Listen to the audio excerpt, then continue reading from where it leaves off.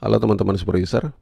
Pada video kali ini kita akan mereview VPS terbaru dari Bisnet GeoCloud yang diberi nama Neolight Pro. Uh, yang membedakan Neolight Pro ini dengan Neolight, jadi sebelum ada Neolight Pro ada Neolight, itu tiga hal ini. Uh, Neolight Pro, uh, virtual mesinnya atau VPS-nya berjalan di atas mesin fisik HPE ProLiant Server Prosesornya memakai AMD EPIC generasi terbaru dengan kecepatan 3 GHz dan total I/O uh, operation per second uh, 8000 read dan write-nya. Baik, langsung saja untuk uh, pengujian-pengujiannya ada beberapa pengujian yang sempat saya lakukan dan saya rekam. Yang pertama uh, menggunakan uh, bench.sh untuk uh, benchmark. Nah, di sini uh, terlihat CPU-nya, prosesornya menggunakan AMD EPIC Genoa, Genoa prosesor, kemudian uh, kecepatannya ini 3 GHz. Oke, untuk kecepatan I/O-nya ini sampai 850-an megabyte per second untuk rate-nya. Kemudian ini speed test. Ini speed test paling atas ini ini uh, di jaringan lokal di uh, ini biasanya mendeteksi server lokal di uh, Indonesia. Uh, kecepatannya sampai 900-an megabit per second atau sampai uh, ini 1000 nih, 1000 megabit per second. Jadi upload dan downloadnya ini sama ya. Kemudian pengujian selanjutnya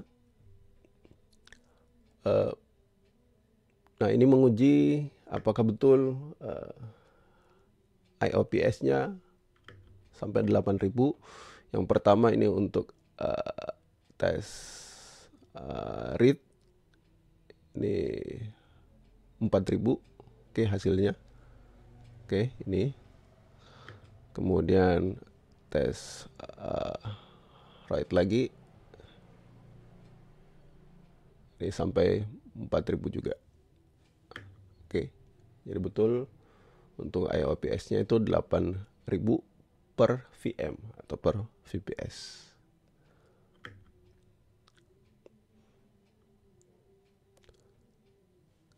itu tadi pengecekan uh, verifikasi spesifikasi oke. Okay, dan kecepatan IOPS-nya kemudian saya mencoba untuk menguji kalau di uh, apa menginstal mengupdate menginstal apakah lancar.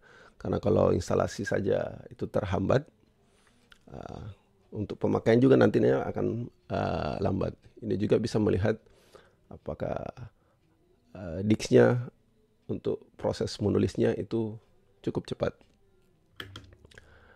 Nah ini uh, script sederhananya untuk instalasi ngetesnya ini update upgrade uh, paket kemudian ini install uh, Lamstack MariaDB server tes pasang repository dari PPA untuk Apache install Serbot uh, PHP oke okay, karena ini masih yang umum digunakan. Rata-rata juga klien yang saya install itu uh, mayoritas masih pakai PHP. Jadi ini di awal harus lancar dulu instalasinya. Jadi saya ujinya pakai ini aja dulu untuk instalasinya. Kemudian nanti ada bagian akhir akan menghitung ini dari update upgrade instalasi itu berapa lama proses berapa lama waktu yang dibutuhkan untuk menyelesaikan semua ini.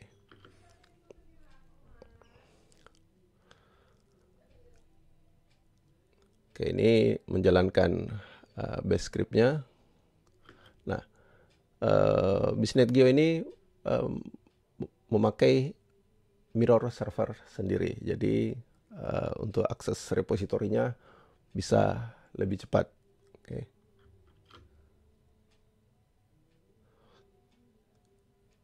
Nah, Oke, ini proses download. Nah, ini udah ekstrak ini uh, unpacking semua.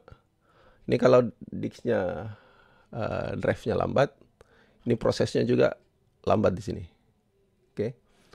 Nah, kalau Linux header ini agak besar filenya. Oke, lanjut. Nah, ini masih proses upgrade.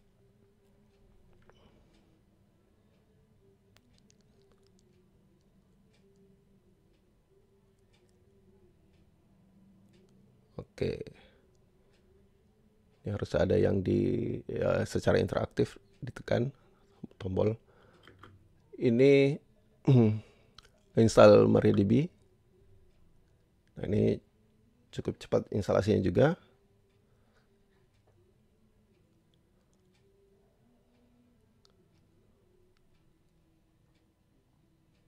Lanjut, di sini seperti terhenti karena ini nambah nambah repositori dari PPA menunggu respon dari uh, eh, PPA ya PPA-nya nih. Nambah repositori. Nah kecuali untuk uh, eh, PPA itu semua ke tetap ke repo yang ada di sana. Atau kita install aplikasi lain tetap pakai mirror yang di sana. Yang di mirror di bisnet ini untuk uh, paket uh, repository defaultnya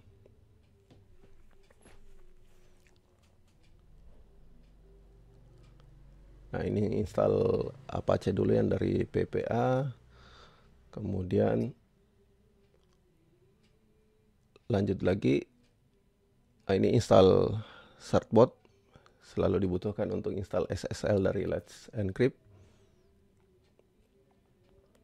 Kemudian nambah lagi PPA, repository PPA untuk uh, eh, PHP-nya.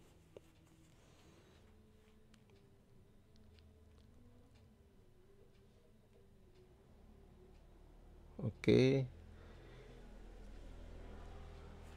Ini membuat file. Ini tergantung uh, extension apa saja yang diinstal.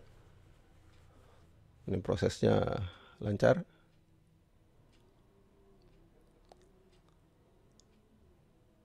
Oke.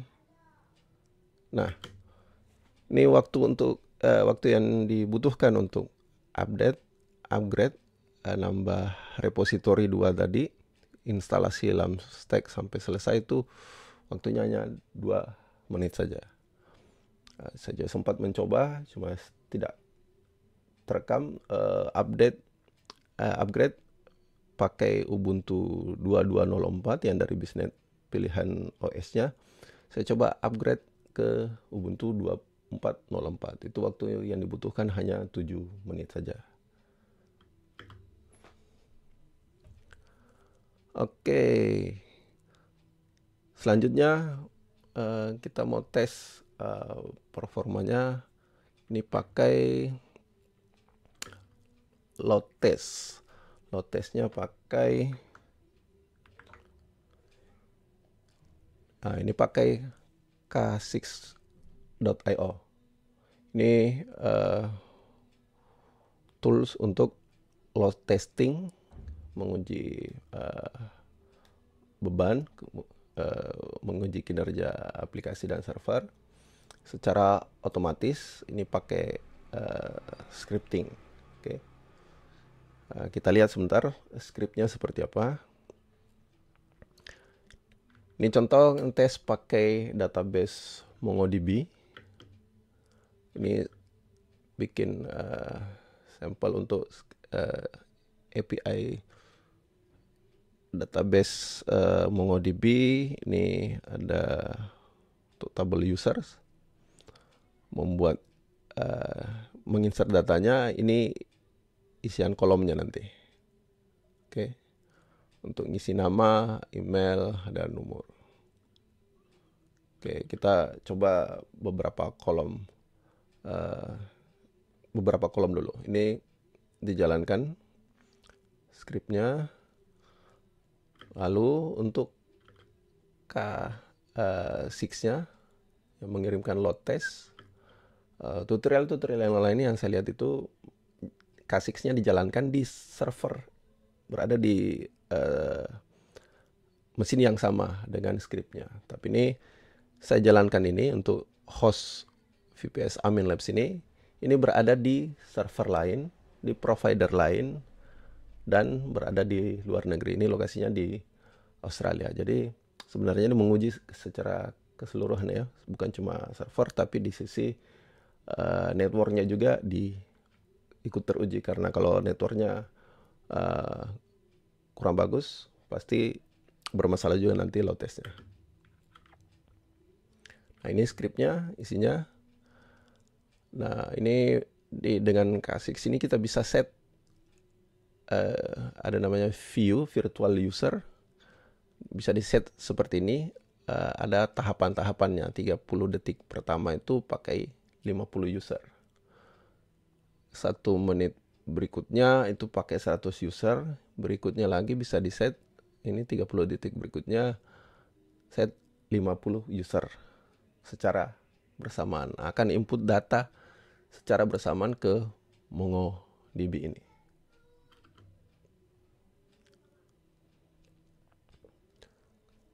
Nah, cara menjalankannya kasih run scriptnya. Nah, ini uh, menjalankan scriptnya. Nah, ini hasil akhirnya. Oke, ini total 6.785. Oke. Dan statusnya semua 201 tidak ada kegagalan dengan uh, sampai tadi ada sampai 100 user, 50 user uh, per 30 detik tadi. Nah, ini sampai 6.700-an data yang bisa masuk. Kita cek verifikasi betul tidak datanya masuk seperti itu. Jadi dicek lagi di uh, Mongo Cell di database MongoDB-nya.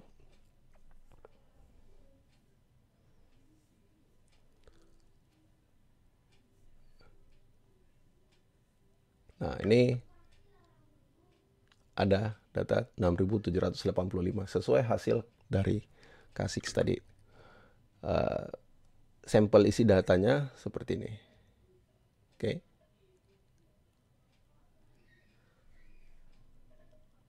Nah, itu tadi hanya beberapa kolom saja ya. Nah, bagaimana kalau coba ditambah isian datanya? Ini sampai 20. Jadi lebih banyak dicoba ditambah lebih banyak uh, isiannya dan dites lagi kembali pakai script yang berbeda khusus untuk uh, struktur yang untuk customer tadi.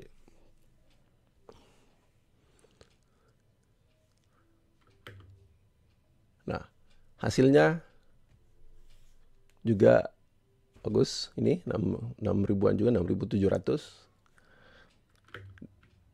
dan tidak ada masalah koneksinya. Untuk inputannya berhasil juga kita cek lagi.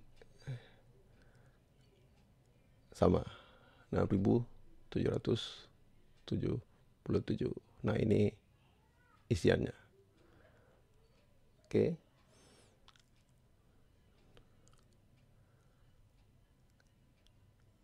Oke, untuk pengujian akhir, nah itu pakai MongoDB yang database-nya jenisnya NoSQL. Bagaimana dengan yang uh, eh, SQL? Karena ini masih tetap uh, database yang banyak digunakan SQL uh, masih uh, mayoritas itu pakai MariaDB atau MySQL. Alternatif yang lainnya SQL pakai PostgreSQL. Cuma untuk kebanyakan uh, klien masih pakai yang ini MariaDB. Jadi saya tes saja MariaDB di sini. Strukturnya sama dengan yang MongoDB tadi untuk membandingkannya.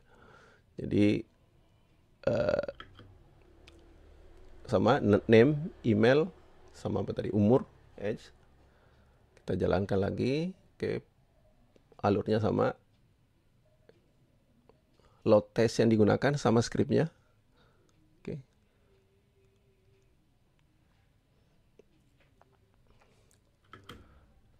Nah, hasilnya juga 6.700-an. Berhasil tanpa ada kegagalan. Oke. Statusnya semua oke. Kita cek lagi di di database uh, MariaDB.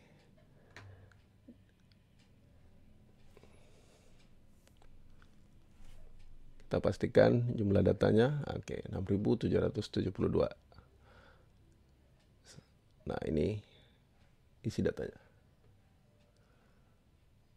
Sama seperti di MongoDB, ada juga untuk customers. Nah, kolom kolom kolomnya lebih banyak, apalagi ini pakai uh, MariaDB, bisa tidak. Kita tes lagi.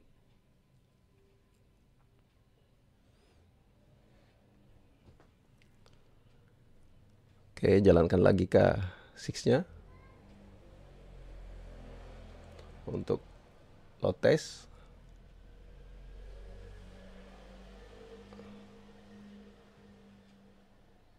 Oke, load testnya sama, 50 user, kemudian 100 user, kemudian turun lagi 50.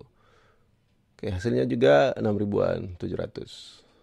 6775.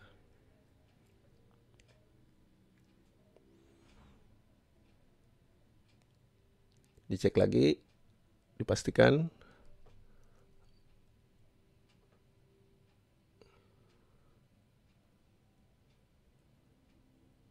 Oke cek lagi isinya. Nah nah ini. Nah ini agak agak agak keliru ininya. Uh, penulisan nama tabelnya harusnya di sini tabel uh, customer ya.